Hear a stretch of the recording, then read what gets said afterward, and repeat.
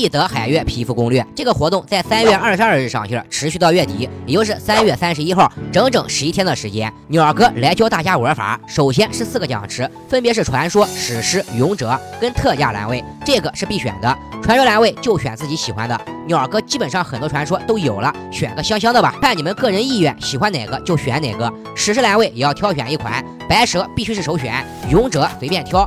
特价栏位皮肤碎片跟积分夺宝都可以，重点来了，注意看这个任务，拥有海月跟熟练度达到蓝色，这两个任务是固定的，只能领取一次，一共十一个神鸟币。每日登录游戏跟五 v 五对局，这四个任务是每天刷新的，全部打满的话可以领到十二个神鸟币。完成任务的方法，鸟哥之前教过了，使用美莱迪进行五 v 五人机对战，两三分钟速推，然后就是好友助力。分享口令三次可以领取三个神鸟币，助力好友三次也可以领取三个。想要这款皮肤的小伙伴可以在评论区互帮互助。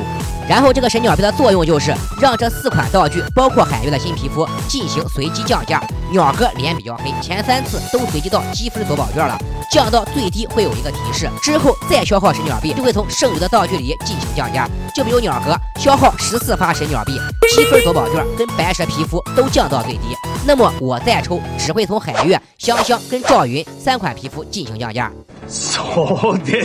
鸟哥帮你们算了一下，传说皮降到最低需要八个神鸟币，史诗皮降到最低需要四个神鸟币，勇者皮肤降到最低需要四个神鸟币，特价道具降到最低需要四个神鸟币，海月降到九八八点券大概需要十七个神鸟币。